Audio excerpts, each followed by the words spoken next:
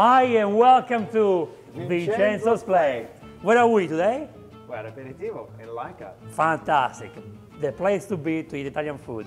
So what are we going to do today, Giuseppe? Surprise us with a beautiful cocktail. Surprise you. Well, I was surprised when I got first asked to make this cocktail. When I was working many years ago in Italy in a bar in Calabria, Bianco, I had a group of guys who used to, used to come to the bar daily and used to ride their Lambretta. It's like a Vespa or a motor scooter. Well, I think Lambretta is even nicer than Vespa. Much nicer. Much The nicer, best yeah. way to explain how it is. Yeah. Anyway, these guys came to the bar, and one like limoncello, one like frangele, one like white wine, and they said to me, please make us something that we can, you know, have. And I thought, what am I going to make? What am I going to make? I thought, okay, they make their own limoncello at this bar. They make their own white wine. Said, leave it to me. And I had the inspiration from the lambrettas that I used to park at the front. Nice. And hence the name is called Lambretta. Lambretta Okay? cocktail. Lambretta By cocktail. Giuseppe. By Giuseppe. Nice. Now for the lambretta, I like to use a classic champagne glass. Now fill it up with ice, just to chill it a little bit, okay? So while you're making the cocktail. So we fill it up with ice, per usual. Limoncello, take 30 ml of limoncello. Now next one is white wine. Now I use an Italian white wine, a Pinot Grigio, so 30 ml of Pinot Grigio, or white wine, or whatever you can get hold of. Now, Frangelico. Everyone loves Frangelico. You know it's the most um, loved drink here in Australia, Italian drink. I understand why.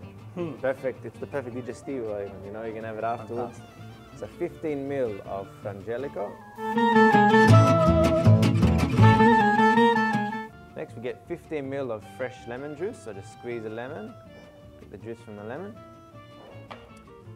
and a dash of sugar syrup. How can you make sugar syrup? How do you make it? So just sugar, water, and reduce it over uh, the stove. Ah, quick. That's it. Easy. Sounds easy. Okay, next step, we'll take, remove the ice from our glass, so it's nice Right. and chilled.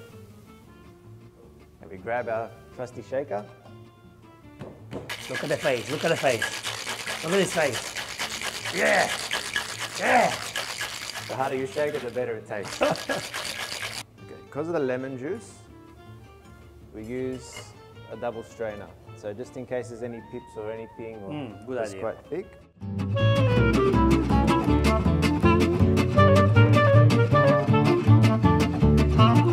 And now the finishing touch is we take a lemon rind,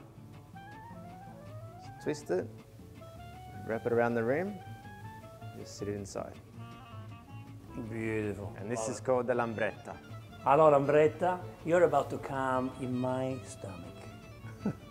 but to go with this beautiful uh, Lambretta cocktail, we need to have some breadsticks, some olives, because like we said, this cocktail is from uh, Calabria, made in Calabria. Made in it's Calabria, all about uh, fresh flavors, homemade things.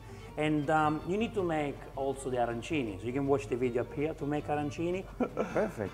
I'm glad you liked the cocktail. I was very scared when I first made it. Mm. You know, all these guys that came in on their lambretta and waited for me to make this cocktail. When they tried it, they loved it, and they came back every day. And now you can find it here at Aperitivo. oh wow, what about the cafe? Do they still have this? Yeah, they've still got it there. Well, thank you guys for watching this episode. We will see you in the next uh, aperitivo with Vincenzo's Plate video.